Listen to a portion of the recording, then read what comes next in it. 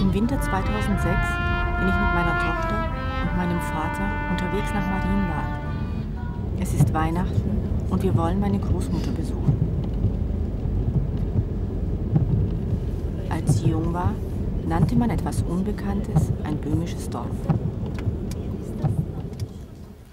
Ihr wart alle in Thailand. Ja. Warst du da mal in der Zwischenzeit? Bitte? Warst du mal in Thailand? Nee. Seitdem